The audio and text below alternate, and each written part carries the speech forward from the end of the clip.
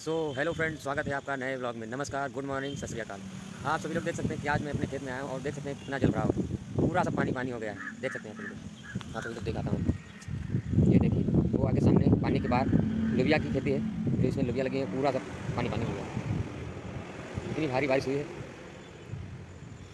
जो कि सब पानी पानी हो गया और इतनी भारी बारिश हुई है कि यहाँ वाटर लेवल जो है बहुत ऊँचे आ गया है। बहुत ऊपर वाटर लेवल आ गया आप सभी लोग जो ये गड्ढे देख रहे हैं, पिलर के गड्ढे इनको खोदते टाइम ही, बिना पानी डाले इनके अंदर से पानी आने लगा।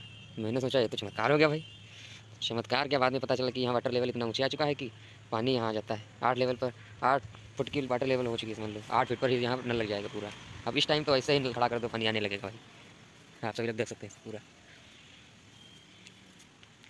अब पानी की वजह से सारी फ़सल समझ लो खराब हो गई मेरी।